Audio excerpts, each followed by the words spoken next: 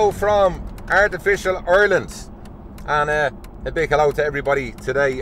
We're into Tuesday now, and we're all getting a little bit older and hopefully a little bit more wiser.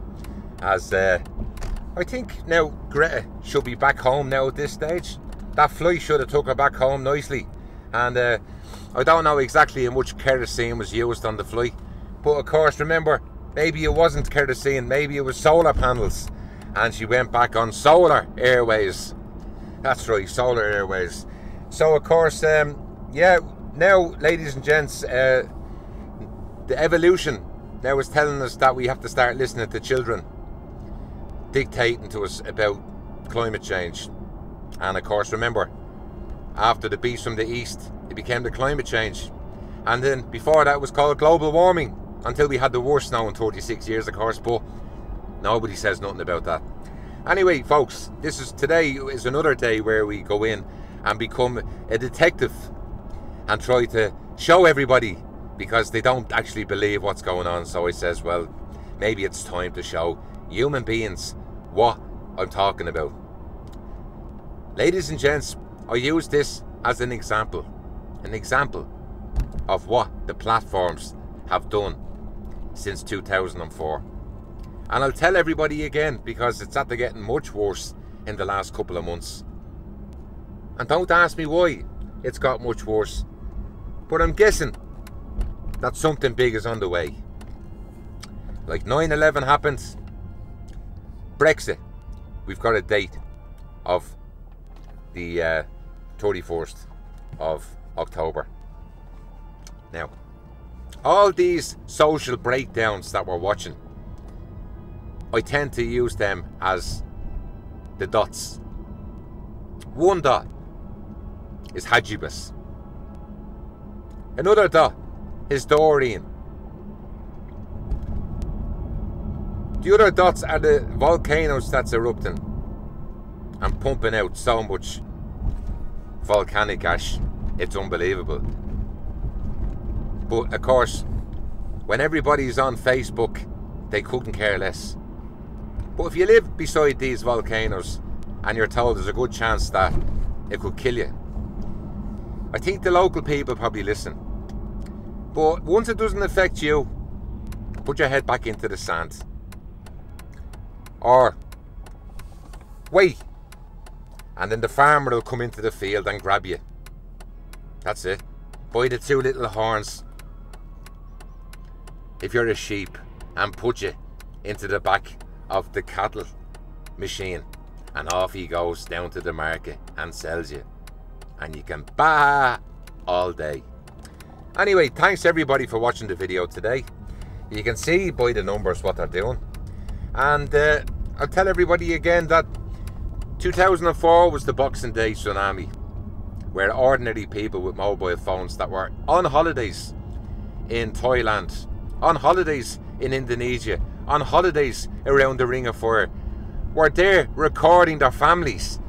And there's that many videos that they couldn't take them all down because there would have been an uproar about it. Because a lot of people lost a lot of lives their families were taken and everything else that happened around the Ring of Fire that day. Thousands of people put their videos up. And they done all the documentaries all about it. And they still show the documentaries every year. Just to remind everybody.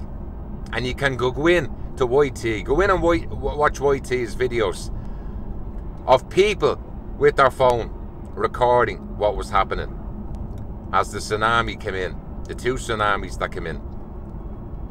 Yeah. And watch all the people in Japan that recorded the tsunami on their mobile phones. Now, ladies and gents, there's two things I want you to do after this video.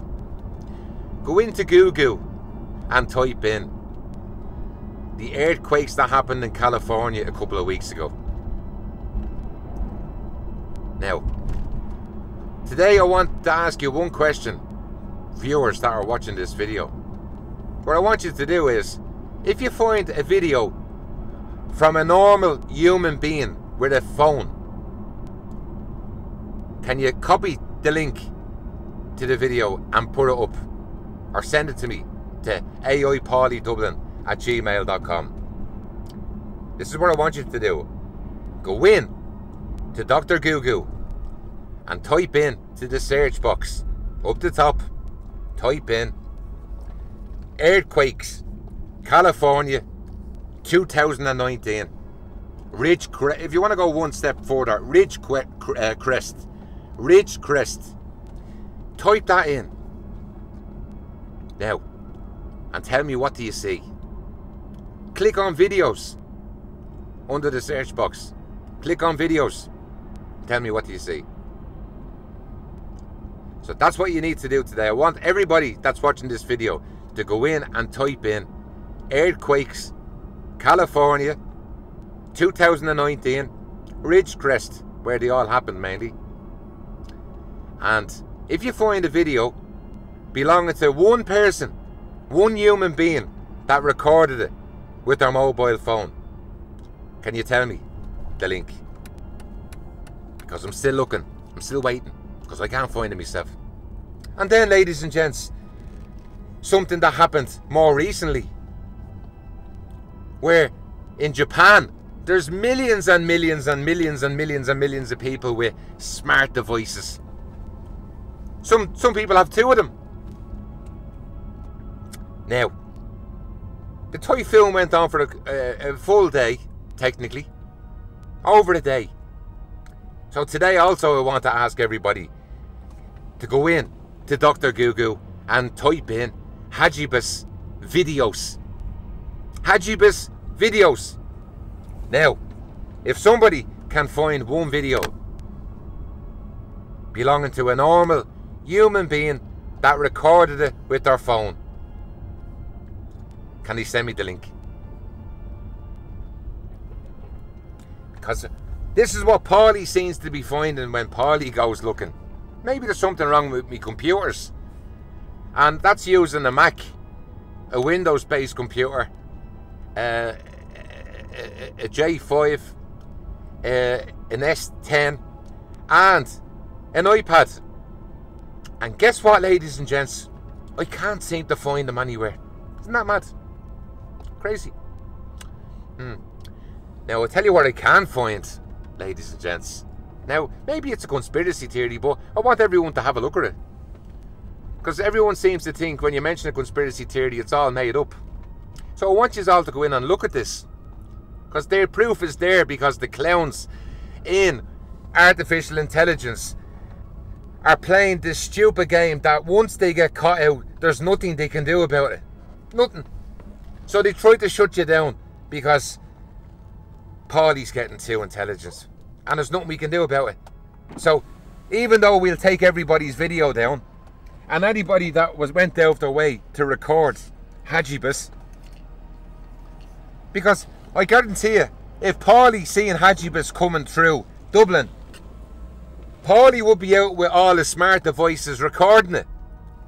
And then Paulie will be uploading it straight away to his YouTube channel. That's right, isn't it? That's what we normally do, isn't it? Yeah. Where he? Well, where he? Ladies and gents, we're on the verge of something magnificent. Okay, magnificent will be the word that we'll use today. Huge. Let's say 10 times worse than 9 11. Okay, call it fear mongering, call it what you want. But I can tell everybody now, right now, this minute, that at the rate that these channels are being shut down, we are on the verge of something magnificent. And while all the human beings, including myself, try to live some sort of normal life and go to work, pay our bills, and survive, something is going to happen. People are sick and tired of telling everybody for a long time what's been happening, what they're up to. But nobody wants to listen. We're told we're conspiracy theorists. We don't know what we're talking about. You know, go off and join a football team. Do something else. Don't be getting so stressed out about it. ladies and gents, today we all still talk about Einstein. Okay, we all still talk about him. We still talk about Stephen Hawkins like he's alive. Why? Because they have the title scientist. And that's the difference, folks. Because you'll always listen to Mr. Scientist over some clown on YT's platform.